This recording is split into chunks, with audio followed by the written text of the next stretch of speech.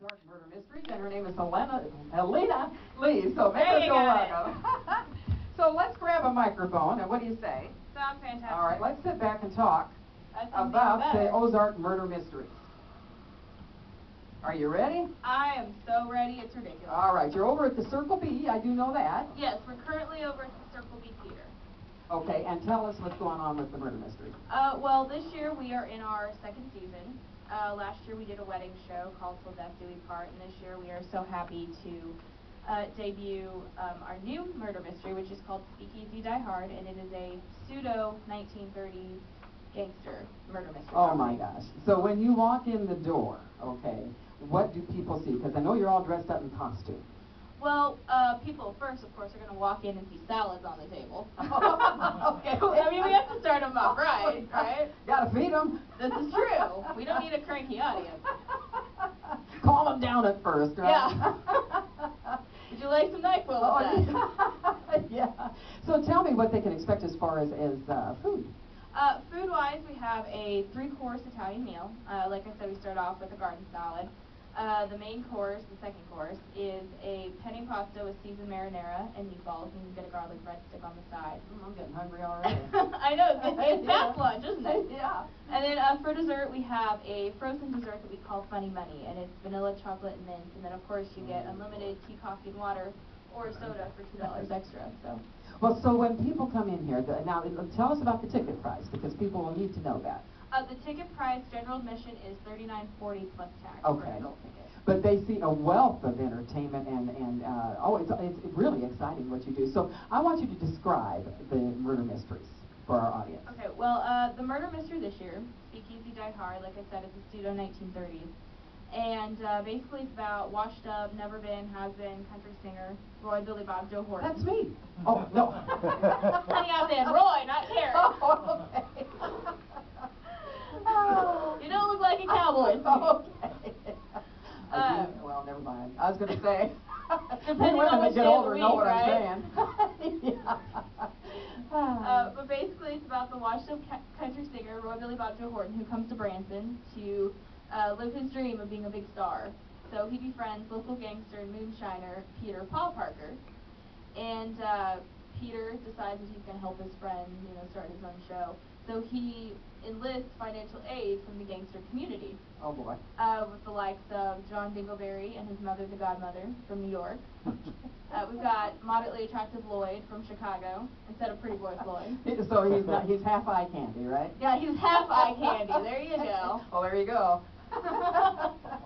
and then uh, we also have Bunny and Claude Hopper from Joplin, which depending on which day you come to the show could be me. So, Now, so I know you're talking in your normal voice now, but during this play, what you're doing, uh, you change your voice, don't you? correct. Okay, correct. so As let me Bunny hear a little Hopper, smidgen. Yeah, as Bunny Hopper, I do a Jersey accent. Okay. I told you, Claude, we were not going to get much from that gas station attendant. But no, you don't listen to me.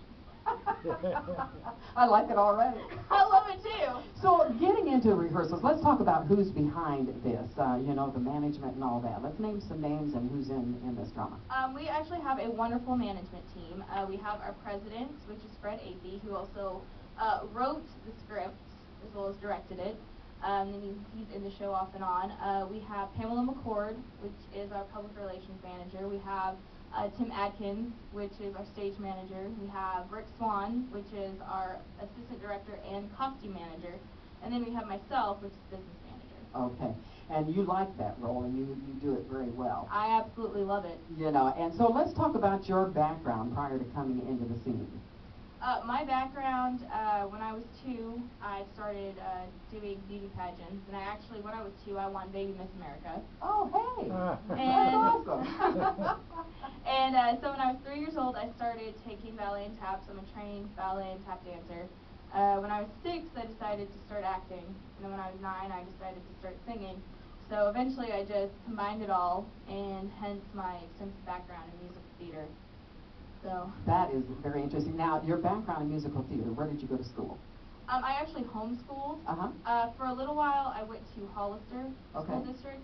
Uh, but after that, I just decided, you know what, I need to work. I need to focus on my career. This is not getting me where I need to go, so I need to do it. And so after I made that big step, my life completely just just changed. So what all the have you done prior to coming to uh, this show? Um, my most recent is I made a short film in Nixa, which is called On the Scene. It's about a paramedic's life on and off work. Um, I also did Descent, which is by Haunted Ozarks, and it, I was a haunter, which is also another form of acting. Um, I worked a haunted house for a couple months. And I tell you, at the time I was waiting tables, and there's nothing more stress relieving than having a bad day at work and going and screaming at people for four hours. And- I can and- see and that. getting You paid really for put it. yourself into it. It's amazing. so now, uh, auditioning for uh, the Ozark Murder Mysteries. So what was that like? It was very simple, actually. Um, when I auditioned, there was only like one other person, and I remember uh, walking into the theater after not getting a phone call back, mind you. Yeah. and just saying, "Here's my resume. Here's my CD. Call me." And uh, so I actually auditioned on my birthday, Hmm. and then um, I got a call a couple weeks later. They're like, "Hey, we need a person to play the wedding singer in uh, Till Death Do We Part." He's like, "Do you think you can do it?" I'm like, "Yeah." So I had I, at the time we were doing Thriller in the show, so I learned Thriller, and then I learned the tunes to the songs, and that's it. So you contribute a lot, though. I mean, you know, you dancing, singing, and and voiceover work and all that kind of stuff. And it looks like you love everybody you work with. I do, I do. We definitely, our our cast is definitely like a family. We try to help each other out. We have inside jokes all the time. Some of the things that I do in the show are inside jokes that aren't originally in the script. so that keeps it going and keeps everybody's spirits up. right. I'm right. sure. You know, and, and you need that when you're doing a show in repetition. I mean, how many days a week do you do this show? Uh, we do it five days a week, and it's Wow. uh, Thursday through Monday, and uh, Thursday, Thursday and Saturday are eight o'clock shows, and then Friday, Sunday, and Monday are six o'clock shows. And both both either show, whichever one you go to, both have. so again, repeat the show times. It's uh, Thursday eight o'clock, Friday six o'clock, Saturday eight o'clock, Sunday, Monday six o'clock. And it's at the Circle B. Correct. And you were talking about singing. I caught on to that, and I know that you brought something to sing for our audience today. I sure did. So why don't you tell us what it's about and, and uh, your singing career? I mean, you've done a lot of things with your singing too, haven't you? Um, I've performed off and on. Um, mainly, I've done competition and uh, things of that nature. Again, I did the musical theater, um, and then basically, this has kind of helped me get get my foot in the door more with an actual singing career. What do you see in the future for you? Um, my number one goal is my band. That's what I want more than anything. So tell us about that. Um, my style, I mean, I'll sing any type of music, but my personal style of music is rock, and it's kind of a combination between metal, punk, grunge, classic. I'm a huge Joan Jett fan. Uh, huge. I mean, I have to thank Queen for getting me into rock music. I really Uh-huh. owe it to them. Um, Queen sound, Panic at the Disco, My Chemical Romance, things like that. I kind of combine it all and make it my own, and I, I write all the time. Well, that's what I was saying when I heard you at rehearsal. You know, I was thinking, boy, I'll tell you what, she's a stylist. She's not just a singer, she's a stylist. I and try. so I'm anxious to hear you. Helena Lee on Branson Radio Live from the Ozark Murder Mysteries. Singing for you on Branson Radio Live. You mind if I say something about the song? No, go right ahead. All right. Uh, the song that I'll be singing is Stand By Me. Of course, you know it's a Ben E. King song. And actually, uh, why we're debuting it here on Branson Radio Live is because it is going to be part of our new pre-show, which is uh, going to be the uh, opening act, Laurel Vincent, which is the speakeasy singer.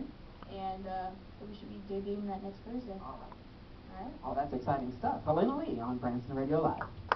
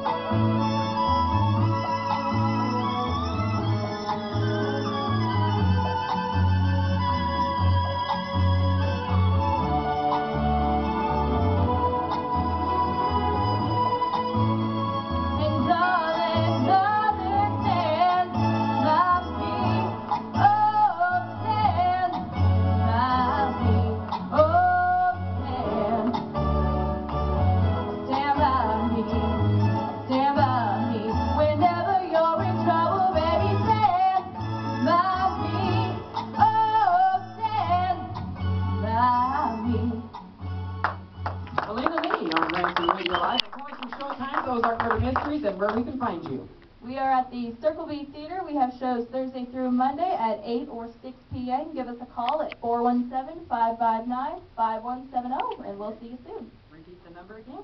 Well, yeah, I can't talk apparently. 417-559-5170. And tell us why we should come to see the Ozark Murder Mysteries. You should come see us because we are like no other show in Branson. We pride ourselves on serving dinner and performing at the same time. We also are incredibly unique because we interact with you, we come out and talk with you, and then during intermission you get to vote on who you think